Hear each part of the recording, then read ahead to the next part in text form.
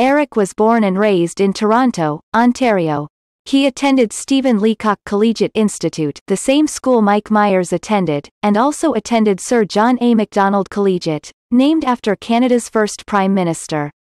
With the support of his parents his father was also an aspiring actor Eric spent three years at the Ryerson Theatre School in Toronto and the Banff Centre for the Arts, and went on to spend five seasons with Canada's Stratford Festival. He graduated, led, status in such stage classics as A Midsummer Night's Dream, Henry V, and The Three Sisters.